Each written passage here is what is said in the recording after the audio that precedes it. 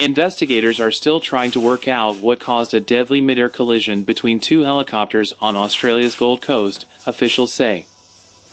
A British couple and two Australians died in the crash on Monday near the SeaWorld Resort in Queensland.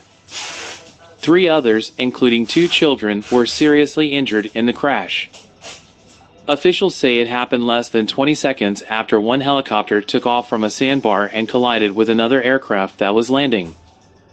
What we do need to know now is what was occurring inside those two cockpits at the time, Air Safety Commissioner Angus Mitchell said. All those killed and critically injured were in the ascending helicopter, which crashed within seconds after its main rotor blade struck the cockpit of the other aircraft. After coming into land.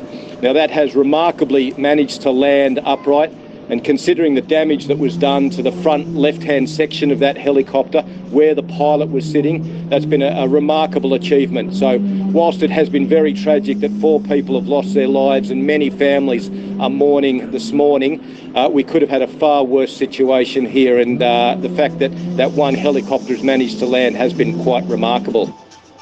Andrew Taylor